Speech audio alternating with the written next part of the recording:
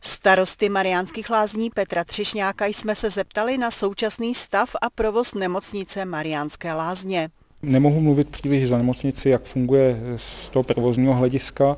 Eh, město má v nemocnici pouze 13% podíl. V současné době z pohledu města je pro nás důležité to, že zajišťuje provoz lékařské služby první pomoci, tedy pohotovosti jako takové a chirurgické ambulance s prodlouženou dobou pohotovosti.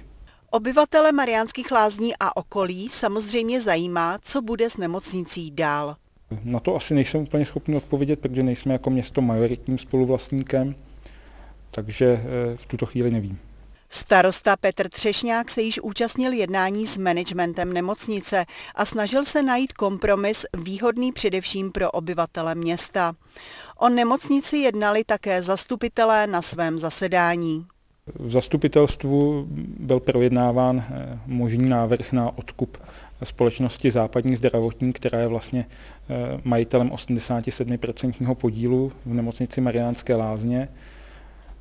Bylo, byla zhodnocena různá rizika i, i hodnota té investice, případně eh, další provozní náklady spojené s tím budoucím provozem.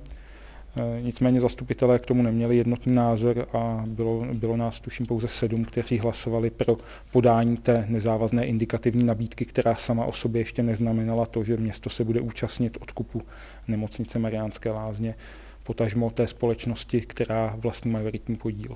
Stav nemocnice je reliktem z roku 2008, kdy byla prodána a městu tak zůstal pouhý 13% podíl.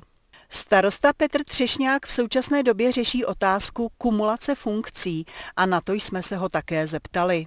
Já trvám na tom, co, co jsem e, říkal do médií v poslední půl roky před volbami, že určitě nelze kumulovat tři funkce, nicméně bych byl rád, kdyby se mi povedlo e, dojet funkci starosty, což je již necelý rok do konce a skloubit to právě s výkonem člena poslanecké sněmovny. E, nicméně vím, že to není úplně to pravé, co, co by někteří očekávali. Zase na druhou stranu nechci zklamat ten elektorát a ty voliče, kteří v souvislosti s tím dali právě hlas i mě jako starostovi. Takže já sám bych byl rád, jak jsem teďka před chvílí zmínil, tu funkci dokončil. A je otázkou, jestli například po vzoru paní hejtmanky budu eh, převolen jako neuvolněný, anebo jestli se nějakým způsobem vzdám odměny nebo části odměny. Rozhodnutí by mělo padnout do ledna příštího roku.